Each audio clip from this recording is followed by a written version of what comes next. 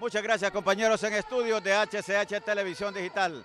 La ciudad de La Ceiba vivió en júbilo la octava Jornada Nacional de la Juventud de la Iglesia Católica, los que llegaron más de 30 mil jóvenes de todo el país a esta localidad. Un éxito total, nos dice Monseñor eh, Lenny Han, eh, el obispo de la diócesis de la ciudad de La Ceiba. Sí, aquí estamos en el estadio. Ah, este estadio tiene muchos recuerdos para mí, porque fui ordenado obispo aquí el 12 de febrero de 2012 y eh, qué, qué, hermoso eh, ver esos jóvenes, este rostro sonriente de alegría, uh, esperanza también para el presente, el futuro de Honduras.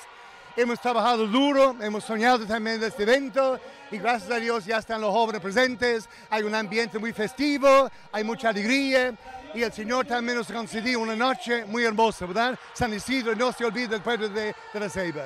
Mucho avivamiento en la iglesia católica en la ciudad de La Ceiba. Sí, como no, si hay crecimiento, ¿verdad? Hay, hay, mucho ánimo y gracias a Dios el Señor está ayudándonos para crecer, ¿verdad? Espiritualmente y también materialmente, porque hoy inauguramos también el nuevo obispado, hemos crecido, uh, pero gracias a Dios, ¿verdad? Si es como a Dios rogando, con el más dando, hay que trabajar y hay que orar. Muy agradecido Sí, con sí, todos los católicos a nivel nacional. que- Ah, sí, como no, sí. eh, Han venido de Danlí, de Juticalpa, de todo el país, de Copán, de Trujillo.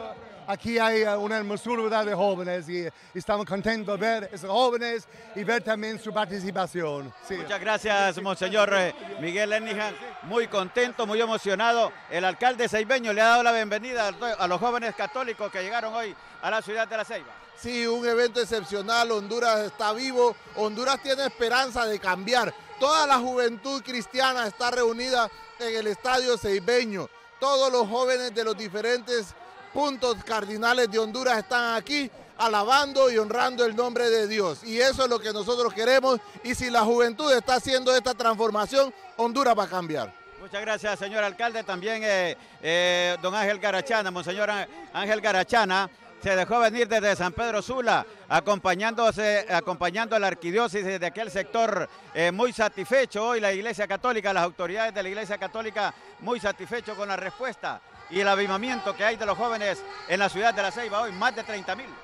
jóvenes venidos de todo el país eh, se encuentran acá en La Ceiba para esta jornada, esta vigilia de la juventud. La juventud viene como empujando por detrás a los que ya somos mayores y ojalá tengamos una juventud buena, una juventud cargada de esperanza, de alegría, de compromiso, una juventud que nos vaya recreando Honduras.